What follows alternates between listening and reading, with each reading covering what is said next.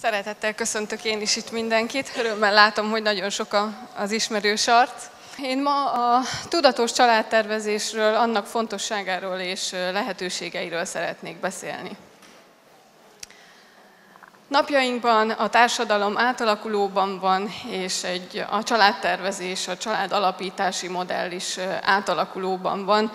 Ennek vagyunk tanúi, ezért gondoltam, hogy fontos beszélnünk a, a tudatos tervezésről. Napjainkban a nők, az emancipált nők szeretnének gyermekvállalás előtt karriert építeni, anyagi biztonságot teremteni, és ezért az első gyermek megszülésének ideje egyre későbbi időpontokba tolódik.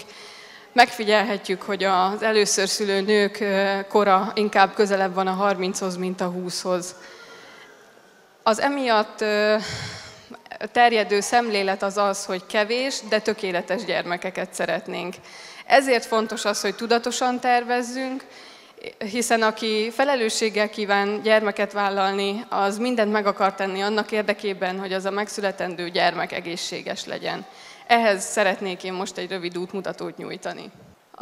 Az első lépés, amit tehetünk mindenek előtt, az az egészségfejlesztés. A felkészülési időszakban, a fogamzás előtti időszakban Fontos, hogy a családot tervező nők és férfiak is felhagyjanak a dohányzással és a szeszes italok fogyasztásával. Ekkor érdemes elvégeztetni a nőgyógyászati szűrővizsgálatot, a ményakrák szűrést és az ultrahangvizsgálatot is, illetve amennyiben szükség van rá megkezdeni a terhesség előtti úgynevezett prékoncepcionális gondozást, amely magában foglalja az esetlegesen fönnálló magas vérnyomás betegségét, cukorbetegséget, pajzsmirigy betegséget, és ennek, vagyis hát ennek a kezelését.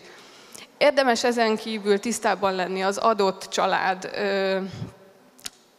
jellemző betegségekkel, hogy elkerülhessük azokat a környezeti hatásokat, amelyek ezeket provokálhatják hiszen ekkor a várandóság alatt mind az anyák, mind pedig a, a magzat egészségesebb, egészségesebbek lehetnek, és így csökkenthető a koraszülés, illetve a fejlődési rendellenességeknek az aránya. Legalább három hónappal a fogamzás, a tervezett fogamzás előtt érdemes elhagyni a fogamzásgátló tabletták szedését, hiszen a női szervezetnek időre van szüksége ahhoz, hogy a saját hormonrendszerét helyreállítsa. Illetve ugyanebben az időszakban érdemes a méhen belüli eszközöket, spirálokat eltávolítani.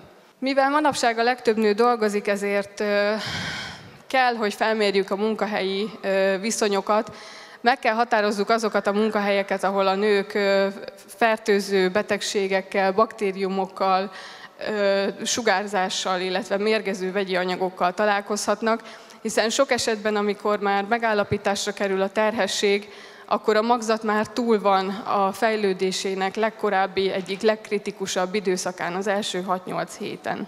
A magzatvédő vitaminok szedését is érdemes már hónapokkal korábban elkezdeni szedni, hiszen legalább 30 napra van szükség ahhoz, hogy a leendő kismama szervezetében olyan vitamin koncentráció alakuljon ki, ami a koraterhesség idején ki tudja védeni az esetlegesen kialakuló fejlődési rendellenességeket.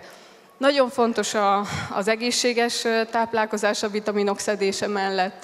A vitaminkomplexek hatóanyagai közül kiemelném a forsavat és a B12 vitamint, hiszen ezek kulcsszerepet játszanak a magzati idegrendszer fejlődésében, és a, a fontosságuk abban áll, hogy a megfelelő mennyiségű napi bevitelükkel elkerülhetjük az egyik leggyakrabban előforduló rendellenességet, a velőcsőzáródási rendellenességet.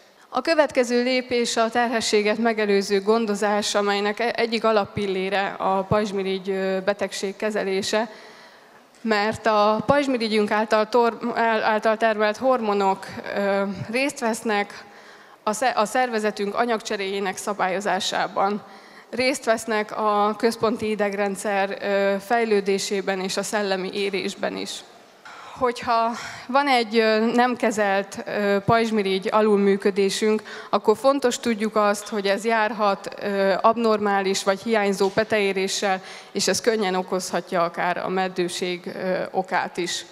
Ismert cukorbetegség esetén szintén a tervezett terhesség a, a legbiztonságosabb, hiszen akár egyes, akár kettes típusú diabéteszről van, van szó. Nagyon fontos az, hogy elérjük azt a normál, a, vércukornak azt a normál értékét, amely mellett ugye biztonságos a teherbeesés.